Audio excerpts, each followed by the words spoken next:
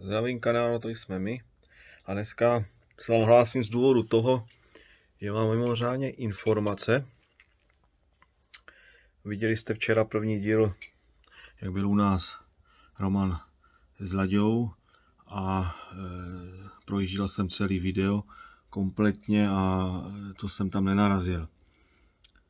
Hnedka úplně na začátku, já vám to dám sem do videa, sestřížený a zpomalený abyste se podívali.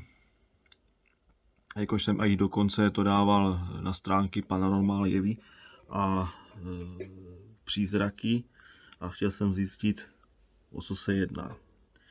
Vypadá to, že se nám asi zjevil o, Honza, takže je to velmi zajímavý. Jakož my jsme, když jsme tam stáli, tak nic o tom jsme neměli ani tušení, že tam něco je nebo není. Jo, ale jedná se nej, nej, asi o or, orb. Takže vypadá to docela strašidelně. Takže vám to pustím.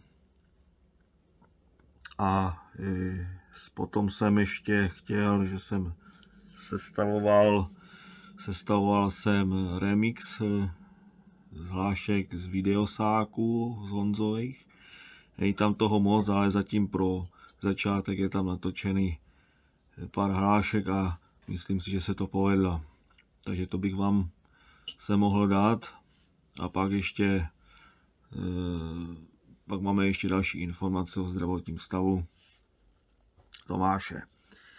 Takže se teda podívejte a co vám to líbí.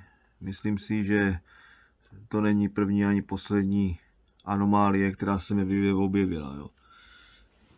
Kdyby zase něco bylo, zase vám to ukážu, takže aspoň víme, že, že něco asi vypadá, že něco existuje, protože tohle, co eh, je natočený, tak to není ani prach, jo, ani vada foťáku, jelikož mám drahý telefon, který vím, že jsem točil už tolik videosáku a nikdy tam nic takového nebylo.